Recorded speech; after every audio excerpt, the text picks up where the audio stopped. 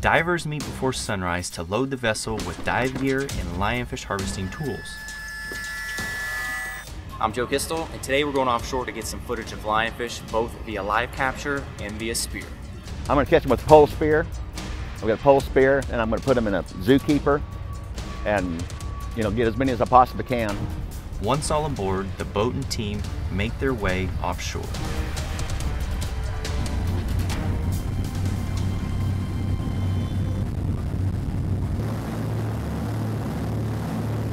All right, so where are you taking us, Captain Dan? Uh, we're going to go to uh, a shell area called Harp Ledge, and uh, we're actually going to go to the Spike, and it's probably in about 100 to 110 foot of water. Yeah, the Spike's about an 80 foot tugboat that sticks up about 30 feet off the seafloor, so it's got a lot of structure. But yet, from our divers, it's, it's kind of an easy, easy dive because we can get around the whole boat, and there's lionfish on it, it'll be easy to catch. Once over a reef site, divers descend down to the habitat below. It doesn't take long to find lionfish.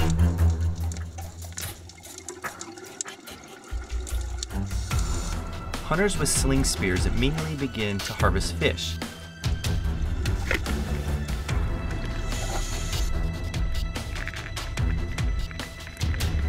Now to some this may seem harsh, but the sheer damage these lionfish can do to an ecosystem justifies any means of harvest.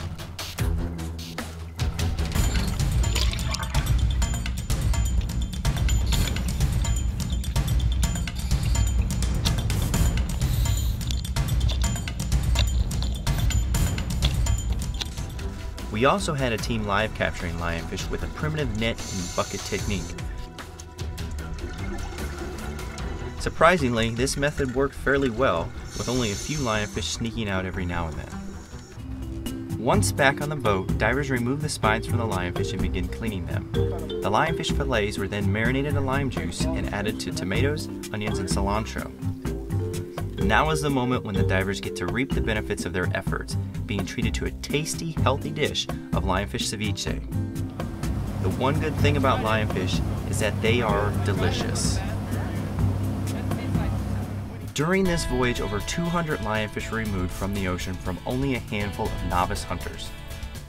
This trip was conducted during the Northeast Florida Lionfish Blast Tournament, which resulted in the removal of over 2,000 lionfish from our waterways.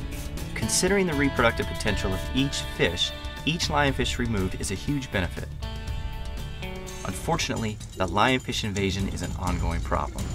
It will take continued efforts like these to help combat the excessive populations and secure the health of our marine habitats. I actually spent the half the dive chasing around. We put the Glen cam on his back and he kept running into the structure so our camera kept falling back. So we're gonna have some Blair Witch footage, I think. But we'll see I'll how- duck down next time. okay.